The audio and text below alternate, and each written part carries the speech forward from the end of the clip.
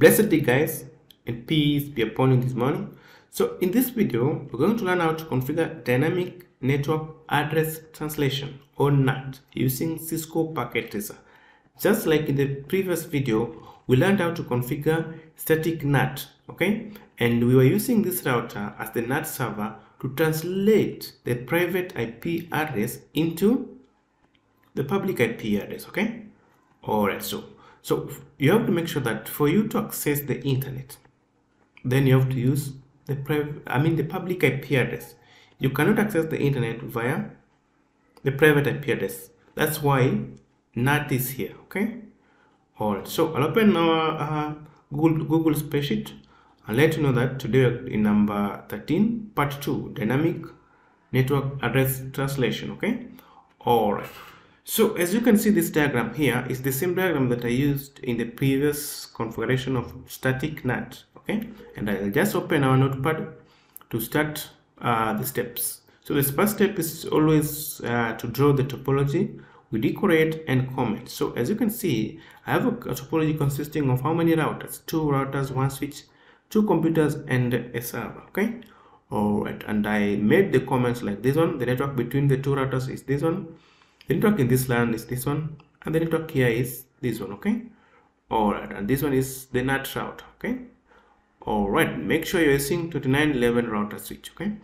Okay so the second step is to configure IP address to the router's interfaces and configure OSPF so guys I have already configured I mean IP addresses to these interfaces and the computer. So for example this is gig 01 and this is gig 00 so if i try to hover over there you can see gig 00 is 200 150.1 slash 24 while gig 01 is 192.168.20.1 slash 24 so the address of gig 01 here is the default gateway of these computers. You can see that is 192.168.20.10 and the default gateway is that one when I hover over this router here, you can see the gig 00 is 200 150.20 slash 24.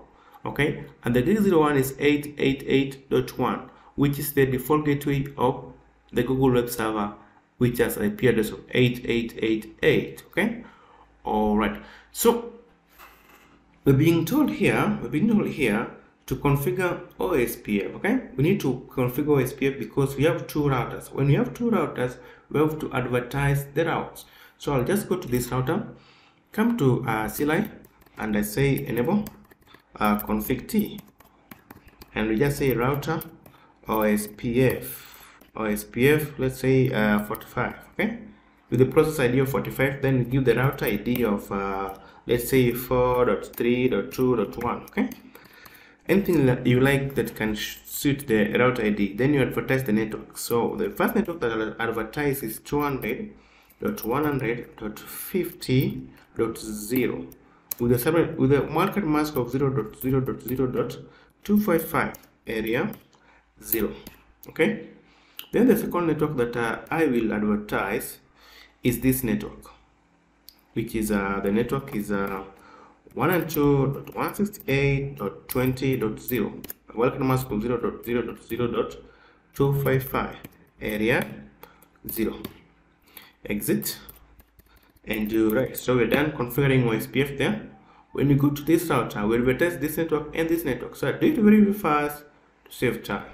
So exit uh, router OSPF 45 uh, router ID to be uh, let's say 5.1.2.4 something like that okay?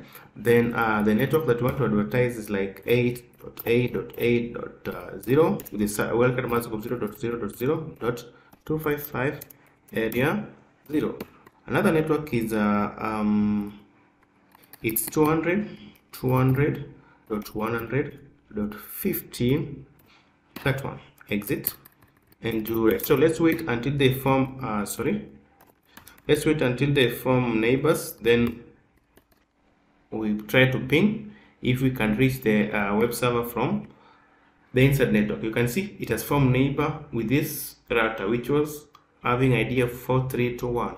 It was this route, okay? So let's try to ping Google IP address, which is uh, and uh, it's uh, ping 8.8.8.8 so it should ping because we have successfully uh, configured OSPF as the routing protocol okay? All right so that's successful. I'll go back to our, our notepad to check ping the Google server test out the path and check if there are any translations. So I'll skip the trace route or I just do it very very fast. So just say trace route 8.8.8.8 so you see it first goes to the default gateway then it goes to the IP address of the next hop which is the IP address of this interface of the ISP router then finally to the destination. Then on the notepad side we're being told to check if there are any translations. So we check translations on the router not on the computers okay? So we just say and then show ip nat translations you can see there are no results as per now okay because we've not configured nat so guys basically let's embark on configuring NAT. So this is all about creating, uh, configuring NAT. So we've been told to create a standard access control list to permit the inside uh, subnet. Okay. All right. So let's go. Just go here and the steps of configuring um, a dynamic NAT. We need to first you need to create a standard access control list to permit the inside subnet that you want to translate. So for example, we just say access access list uh, standard access list uh, events 15 okay permit permit uh, the subnet one the subnet is uh, the subnet here is uh, 192 192.168.20.0 uh, with a wildcard mask of 0.0.0.255 and you hit okay that's all then then uh, we need to configure dynamic NAT to do many-to-many -many translation. Remember, in static NAT, it was all about one-to-one. -one. We, we translate one private IP address into one public IP address. Okay, so in this uh, scenario of dynamic NAT, we're going to translate many to many. Okay, we can, we can, can translate one to many or many to many. Okay, all right so that's what we want to do here all right so how do we create um, how do we configure NAT dynamic NAT we create pools because it's many to many now we create what's called pools okay so we just say ip nat inside inside uh, source uh, then let me sorry ip nat then i query. Yes ip nat pool okay? Then when you query you give the word okay? Let's say uh, dynamic nat nat yes i don't want to give it uh, a huge name dny d, d, dy dy nat okay? Okay? Dynamic nat then you try to query. Now you give the start ip address okay? I want uh, the pool to contain IP address like uh, 200.100 uh, dot 100 dot 50 dot 1 then I query again and IP address to 200 dot uh, 100 dot 50 to 10 okay so when you're giving a pool make sure you use the public IP address which is here okay? All right so that's my pool you can see from 50.1 to 50.10 that's where my pools are okay? Many to many okay? All right so from 1 to 10 will be used for translation. Then we query we give the net mask net mask. Net mask is uh, the subnet mask okay 255.255.255.0 okay? All of these have a subnet mask of here okay? 255 which was here you can see here. All right then we just hit enter. All right so guys we've created uh, a nat here and we've created a access control list here. So we need to bind this nat with the access control list so that that nat can use this one okay Alright, so let's do that very very fast. When I go back to our notepad, you can see that's what is asked here. Bind ACL to NAT and configure interfaces to use uh, as NAT inside and NAT outside. So we just say IP NAT uh, inside, then we query list uh, list oops uh, IP NAT inside source with query list.